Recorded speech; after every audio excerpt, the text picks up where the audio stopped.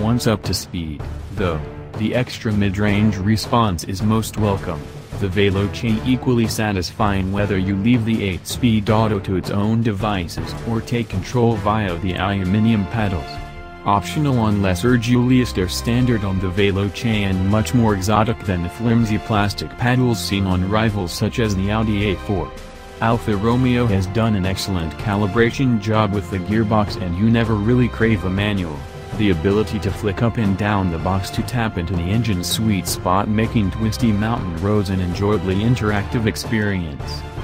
Although we drove the Q4 version its Dorp bias gives a good sense of how the rear-driven UK car will handle.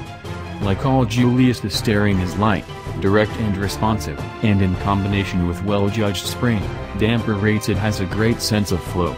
To the extent that the sharper damper setting, dialed in by switching to dynamic on the three-way DNA switch, really isn't necessary.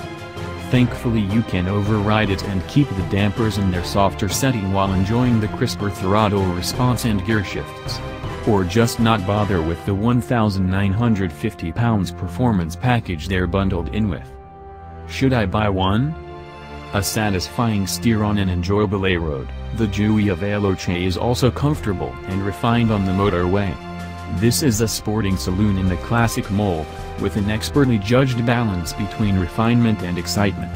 Everything you'd hope for in an Alfa Romeo, in other words, with few of the excuses required in the past.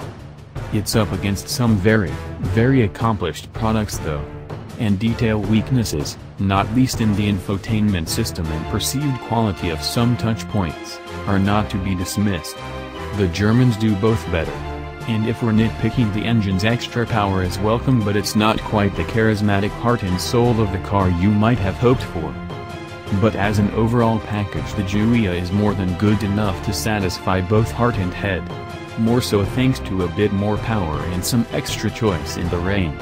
Alfa Romeo's resurgence continues apace,